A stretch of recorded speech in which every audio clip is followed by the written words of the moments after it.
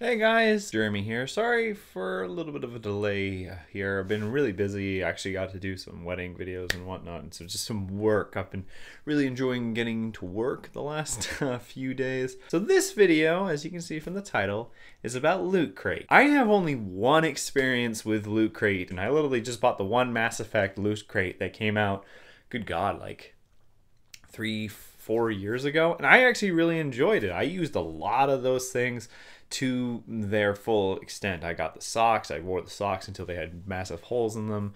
I still used the backpack from time to time. Obviously, I got a new sweater from it. I almost used everything of that. I think it came with one little plushy thing of a of a Volus, which I just have in the entertainment area. But otherwise, everything that came with that crate was great. I've never been inclined to do one since. Uh, as most people know me, I'm very stingy with my money, even more so now with the whole recovery thing. I am very, very particular with what I spend my money on. And the idea of spending money on something that I don't 100% know, I'm very, very against. I was really against buying the Mass Effect one when I started to think about it, but I'm just such a huge fan of it. And when I realized that it's literally just pieces and whatnot from different distributors, and considering now that there isn't really a Mass Effect store anymore, it's literally that different distributors selling different things now. It was pretty cool at the time. So when the Lords of the Rings one came out, I was like, all right, they can't fuck this up there was an option between buying one crate or buying three, and three being the three movies.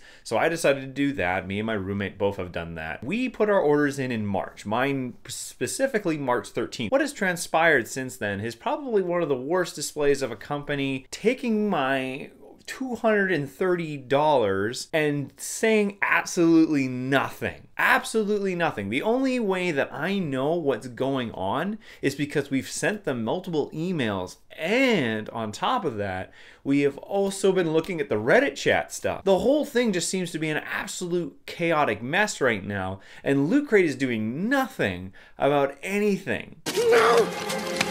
Ah! Where is it?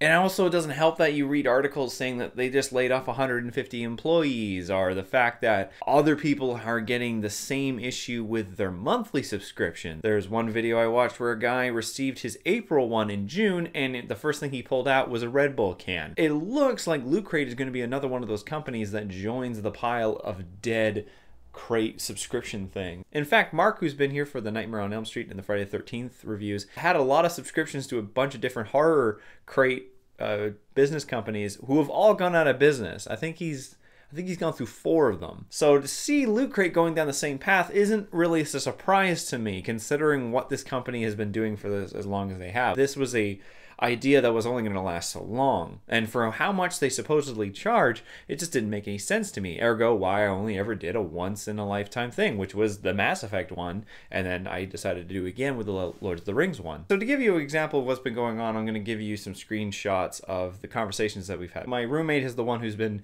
emailing for the both of us because obviously I, with my own personal issues, I just didn't want to put an effort into that because I, I didn't care about that at the time. So she's the one who's been corresponding with. So the first email here is when we were inquiring about how much longer the deadline was for the supposed deadline of the loot crates, which was originally in March. Said, Hi, I was wondering how much longer all three loot crates would be available to pre order.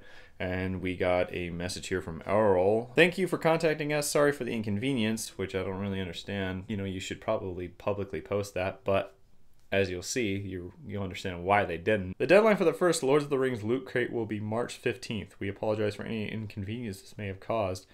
Let me know if you have any further questions. Thanks. So that's not too bad. A little odd that they apologize twice, um, because maybe this guy knows what's happening. So a little while later, obviously, my whole cancer business kind of put a lot of damper on everything. It was about a week before June. We were kind of wondering, hey, where are our crates? Sneaky little hobbitses. Because originally, from what we had seen, from what they had told us, like not in emails, but on the official orders, is that the first one would be coming in April and then they pushed it to May. So that's why we started at emailing them about it. And that's also when I started looking up stuff on Reddit about other people having issues. So my roommate wrote on June 2nd, Hello, just wondering what is going on with the Lords of the Rings crates. It's understandable if they have to be postponed, but the lack of updates and communication has been extremely disappointing. We were told they had been pushed back until May When we received no news, we had to look on Reddit to find out that they were being pushed back again. Are these orders going to be fulfilled? Thank you. Not listening. I'm not listening. So this one's from Urson. This response was two days later. Thanks for writing to us. Unfortunately, there was a shipping delay with The Lords of the Rings, a limited edition, The Journey Begins, which now makes me think this is going to be about the goddamn Hobbit. With the latest update, we were advised that all crates should be shipped out by June 10th to 15th. We understand this is a long time to wait, on top of how long you have already waited, and this is a great inconvenience. I thank you for your patience and understanding. You should receive a tracking email as soon as the order has been shipped, so keep an eye out for that notification. You're a liar. And a thief. No. Murderer. Least to say, we haven't heard shit. So finally, we sent another email about a few days ago saying, So June 10th to 15th has come and gone. We still have not heard anything from you guys. It's not the delay that is frustrating, it's the lack of communication. And it's true. The fact that we haven't heard absolutely anything. We have had to go out of our way to figure out what's going on. I've had to read Reddit posts about what the fuck is going on. So the fact that Loot Crate is showing financial difficulties just with their employees as well as the monthly subscription people and then this issue going on right now it doesn't exactly bode well for the money i spent on this i'm honestly really considering asking for a refund because we both got three like we both got the, the three for ourselves. But I noticed something when I checked my phone. So when I was looking on my Loot Crate account on my phone, I noticed this little bullshit up in the top. The auto renewal date of October 15th, 2019. I never signed up for a subscription. Wicked. Tricksy. False. And I already paid in full for this thing. So if they're gonna try and fucking charge me again, I'm gonna have some words with them. You don't fuck with my money. So I'm really hoping the Loot Crate has a response for this because I'm gonna send them an email today saying, hey, where the hell are the crates and what the hell is this auto renewal crap? I've paid in full. My invoice even says so. Give me an answer about what the fuck is going on or I want a refund right now. But then I'm even worried about asking for a refund. I have a feeling that they're going to ball and chain me for months and months until I get that money back. So I'm kind of caught between a rock and a hard place right now. So this is mainly just a big shout out for anyone else who has ordered this loot crate.